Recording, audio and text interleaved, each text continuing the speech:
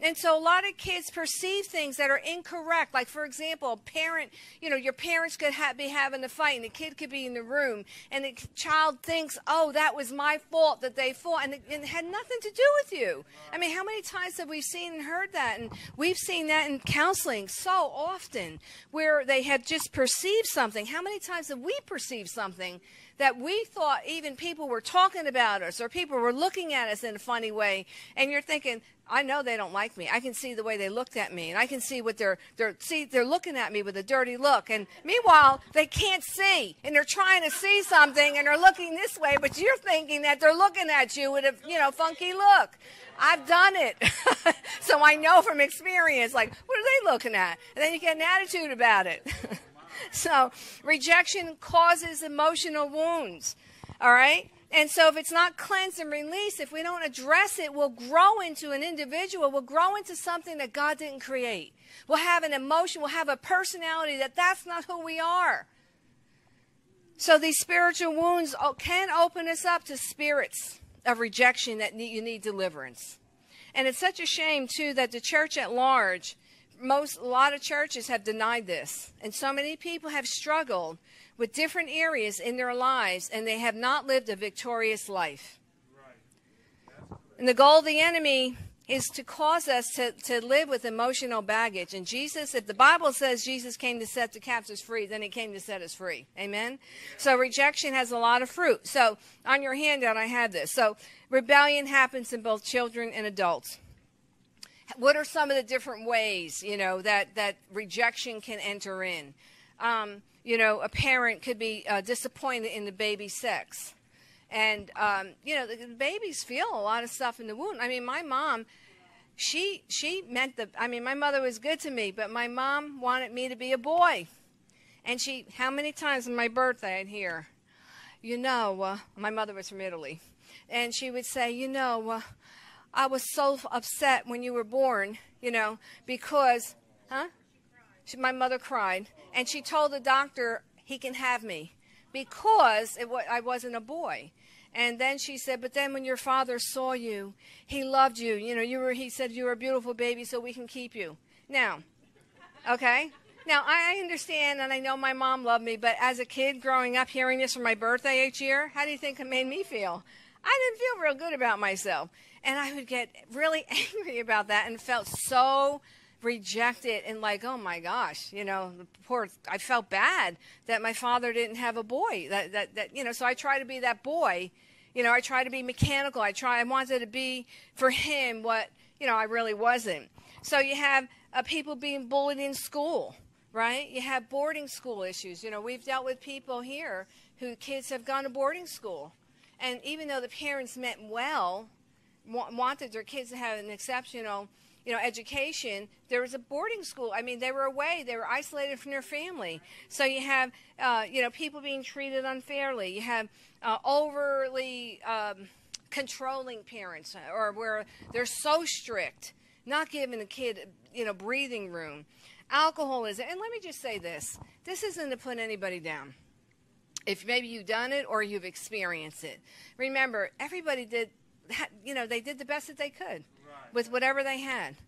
You know, I was thinking of stuff today, and I thought, oh God, I have to call my kids and repent as I was rereading some of these things. You know, you thought you were doing. Oh, okay. Tell them I'm sorry. No. So, alcoholism in the home, poverty, when you have parents that are alcoholics and you have to walk on eggshells. You don't know each day whether you're coming or going. You're so afraid. Um, when you're in, impoverished, when there's poverty, and then the kids are going to school and, and they don't have proper clothing or they don't have the latest, uh, you know, sneakers or their, their cell phone, and they're really embarrassed by that, right? All right, so um, a tendency to reject others. So a lot of times what happens is you'll reject others before they reject you. And so you can act all snotty with them or or you have a very you know standoffish personality. Why? It's not that you really want to do that. You're in, you're you're protecting yourself. You're seeing god is saying no this isn't how i created my people. I want you to have joy. I want you to have relationship with people. I want you to interact with people. So there's a tendency to always wonder will they like me You know, there's a tendency to that performance thing. We teach that in Elijah House. I was the poster child for performance orientation. If it wasn't perfect, and and guess what? It was never perfect even though you try to make everything perfect.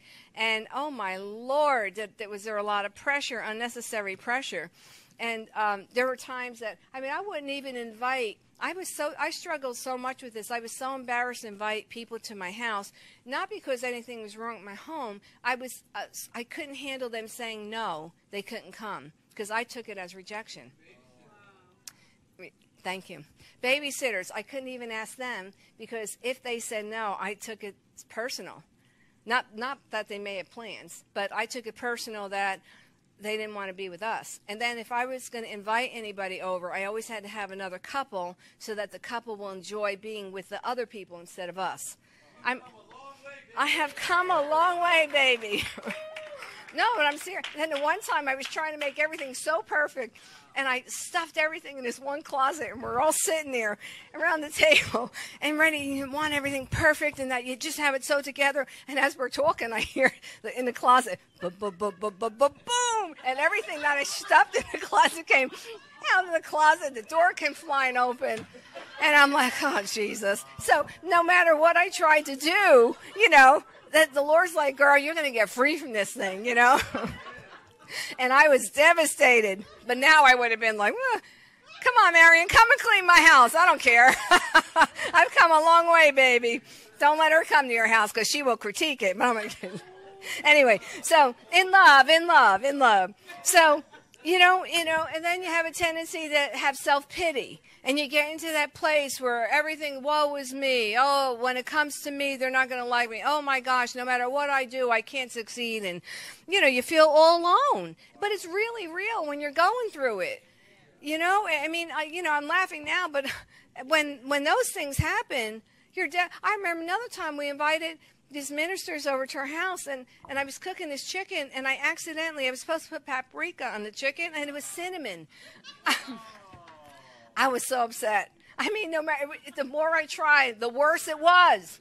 So anyway, so I had to really get over this thing. I thought, Lord. And then when the, one of the couple of the first times I was asked to preach, I pre I had a message prepared for really it was like 12 weeks worth of information that I tried to get in 45 minutes. And then I would ask my husband, was it okay? If he said it wasn't, he was in trouble. And if he said it was okay, he still got in trouble because I didn't believe him. So, you know, so it creates a lot of havoc and it, and it causes a lot of strife in the home. Wow. right? I did really. I did. I spoke real, and I. This is this is without drugs. I mean, the old me, that was drugs. You know, I could have used something there. But I, I'm set free now. I mean, I haven't done that. Anyway, woo, Jesus. Anyway.